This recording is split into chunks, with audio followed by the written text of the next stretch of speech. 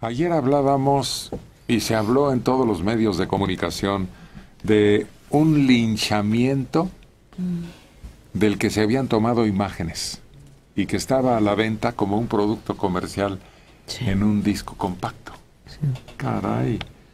El video comercializado muestra a un hombre desplomarse boca arriba mientras su torso se incendia. Aunque hace intentos por levantar las piernas, se queda inmóvil y el fuego lo consume poco a poco. El hinchamiento ocurrió el 4 de junio en una comunidad, Las Ollas, de Juan Chamula, en Chiapas. Aparecen dos hombres golpeados con manos y pies, atados y rodeados de una multitud en donde hay hasta niños. Y entre gritos y llantos, una de las víctimas parece pedir clemencia en su lengua. La grabación dura casi dos minutos. Se comercializa por poco más de un dólar en San Cristóbal de las Casas.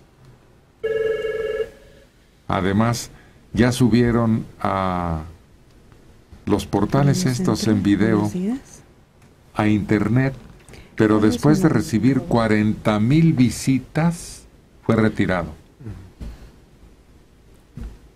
Pues sí. Caray, esto es no solo escalofriante. Hallaron el cadáver de una mujer de 24 años, originario también de esta misma etnia, vamos a decir. Según la fiscalía, fue privada de la vida por tres sujetos que fueron linchados por los pobladores.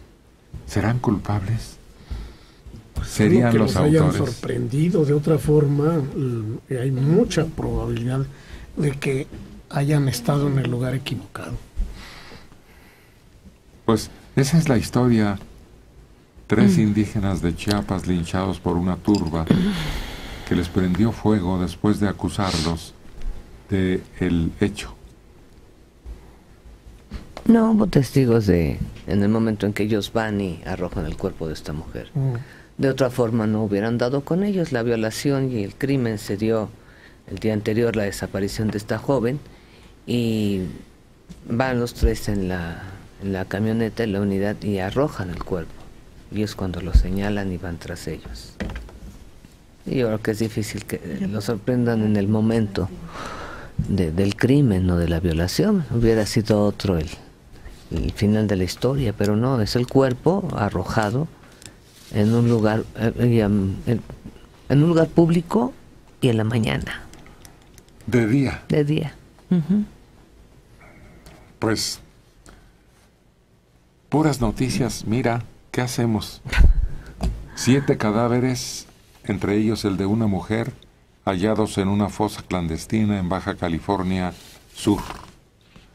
Por acá, la policía rescató 58 migrantes clandestinos, entre ellos 51 guatemaltecos y tres niños que estaban secuestrados en Sonora. Niños, mujeres embarazadas, gente enferma, casi en la inanición por falta de los nutri- nutrientes adecuados. Todos son botín para estos desgraciados. Y la autoridad, porque cada vez vemos cantidades como esta mayor de una cincuentena, en donde quién los tiene, cómo los agarra y luego cómo los somete para que tarde o temprano, pero más bien tarde, si acaso se les descubra. Nuevamente migración, relaciones exteriores. ¿Cómo entraron 51 guatemaltecos? ¿Cómo lograron llegar hasta ese punto? Eh, Directores van, directores vienen, pero la corrupción sigue. Y claro que están enterados, pero han perdido el control de, de la frontera sur. Es más, yo creo que nunca lo han tenido. Sí, sí no existe. Desgraciadamente, lo que hemos visto en cuanto a reportajes e historias de esa filtración, Eh, tenemos las puertas abiertas. sería muy costoso establecer un control estricto en una frontera tan grande también. ¿No es más costoso lo que estamos viendo? Sí, sí, sí, menos este, costoso que las vidas, que la impunidad, que el dar más caldo de cultivo para estos grupos delincuenciales. Y por otro lado, si yo comparo la frontera del norte con la del sur, sé que los norteños han puesto mucho de su parte porque no nos quieren allá. Pero también las autoridades mexicanas han cooperado en ese control de, de frontera norte. No importa, no importa, se van a salvar vidas, se va a tener control. La lucha va a ser brutal porque es la entrada de la droga, pero no importa, algo hay que hacer. Además, acuérdate, Mario, que cuando el costo es en billetes, siempre será barato. Las vidas, el prestigio del país, la tranquilidad del país, eso sí es costoso. Y eso no lo podemos pagar. Pero ellos no lo ven así, no sé si te das cuenta.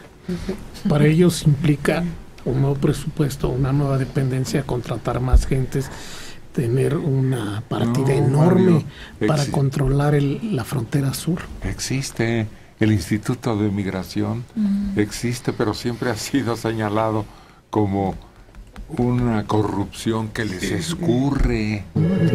Una entidad. Primero eran los cubanos, ¿se acuerdan? Sí. Pero en cuanto empezó el éxodo de gente de Centroamérica que quiere cruzar para venir a trabajar a la frontera norte, se volvió el ese tren bestia. La bestia, desde que se vio que había complicidad entre el, el mismo, la misma institución de migración para con, con los polleros y con todos los que traficaban con las personas. Pues sí, ¿qué esperas, no? Es negocio, es dinero y que vieron que les dejaba muy buenas ganancias, pues no, no, por eso no lo suspenden, no porque no se pueda, sino porque no se quiere, ¿no? Ah, Todos los que no van a poder entrar a Estados Unidos se van a regresar a Honduras, a Guatemala. No.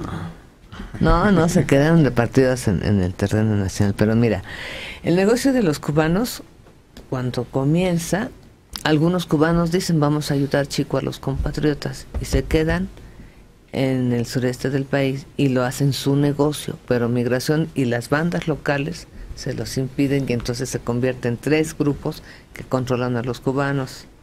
Los mismos cubanos, las autoridades de migración y las autoridades locales.